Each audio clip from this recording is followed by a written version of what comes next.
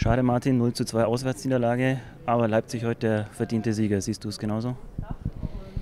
Ja, wir haben nicht zielstrebig nach vorne gespielt, haben das, was uns auszeichnet, das Umschalten und die Aggressivität in die Zweikämpfe, haben wir nicht zu 100 Prozent auf den Platz gebracht und von dem her muss man halt Leipzig zugestehen, dass, obwohl es auch nicht, denke bei 100 Prozent waren, aber wir waren, ja, wir hätten besser spielen müssen. Wir können das auch besser, haben wir gezeigt und deswegen ja, verlieren wir heute 2-0. Leipzig in den eigenen Stadion mit einer unheimlichen Qualität haben es heute sehr, sehr gut gemacht und Timo hat mir auf dem Platz auch bestätigt, dass er heute in absoluter Topform ist und dass sein bestes Spiel in der Saison war und von dem her war es leider bitter heute. Haben leider die Anfangswelle, die wir, wo wir mit gerechnet haben, dass Leipzig ähm, schwungvoll anfängt, ähm, konnten wir leider nicht überstehen. Bekommen, glaube ich, zu früh das Gegentor nach einer Standardsituation wieder, was, was sehr, sehr ärgerlich ist. Ähm, ja, ähm, ja, wie gesagt, wir, wir haben uns heute nicht, nicht hundertprozentige Möglichkeiten rausspielen können, wie wir es vielleicht die letzten Wochen äh, gezeigt haben.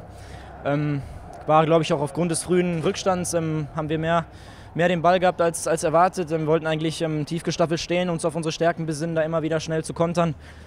Und ja, das wurde dann leider alles über den Haufen geworfen durch den frühen Rückstand. Leipzig hat über 90 Minuten richtig Dampf gemacht. Wie schwer war es, gegen dieses wendige und schnelle Leipzig-Spiel anzukämpfen? Sehr schwer. Ich glaube, das weiß man, dass sie eine unheimliche individuelle Qualität haben und sehr schnell auf den Beinen sind.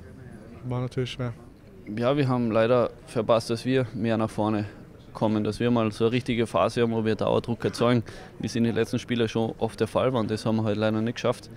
Äh, warum es gelingen ist, warum es gelingen ist, das kann ich jetzt nicht genau sagen, das müssen wir uns mal anschauen, aber ja, heute war, denke ich, nichts zu holen.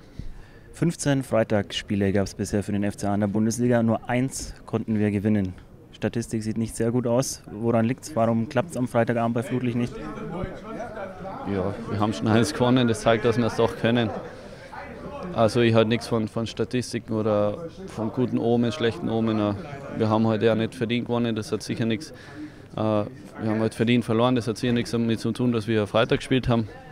Äh, keine Ahnung. Wir vielleicht ist es ja hoffentlich das letzte und dass wir uns wieder auf unsere Samstage und Sonntage konzentrieren können.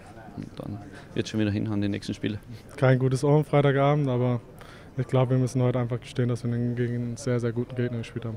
Ich glaube, es hat nichts mit dem Tag zu tun. Das ähm, ist natürlich eine nicht so schöne Statistik, aber ähm, ja, ich kann da auch nicht zu viel jetzt zu sagen.